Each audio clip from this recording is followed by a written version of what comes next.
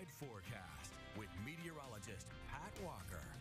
And welcome back to Arkansas today. Well, we've had plenty of scattered thunderstorms in, in, central and north Arkansas throughout the morning hours. We continue to have that now in the afternoon hours. And yet again, we have another wave back off toward the west that's going to come in this afternoon. We're going to start by going into Crawford and Sebastian counties out in west Arkansas. Some rainfall from Van Buren northward up to around Mountainburg, hitting I-49. That's moving toward the northeast through Crawford County.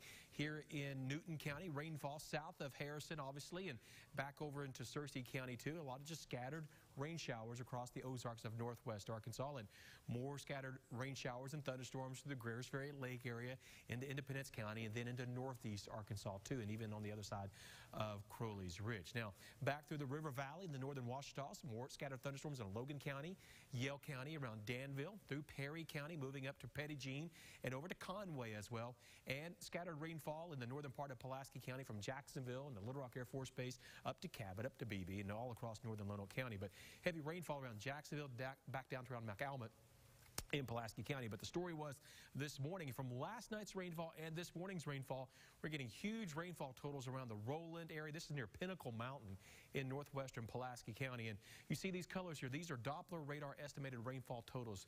If you see the shade of yellow, that's radar estimating four inches of rainfall. The orange, five inches of rainfall. And inside that red, six or more. In fact, our highest total we're seeing here, Doppler radar estimating nearly nine inches of rainfall.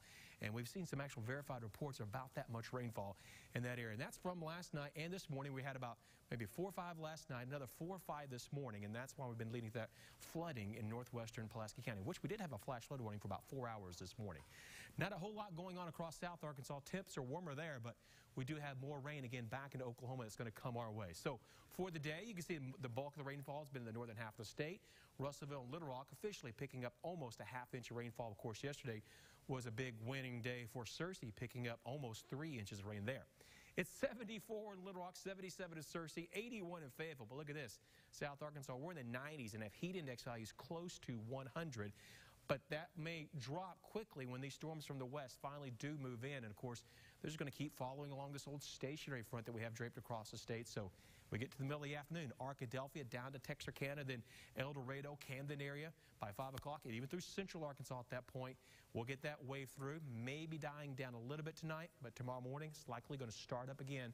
Primarily, it looks like the southern half of the state, along and below where that stationary front is set up for the next couple of days. So North Arkansas, you might start getting a little break from the rainfall, but Central and South Arkansas, it looks like it's still game on. Well, that's your statewide forecast. Now here's your local forecast.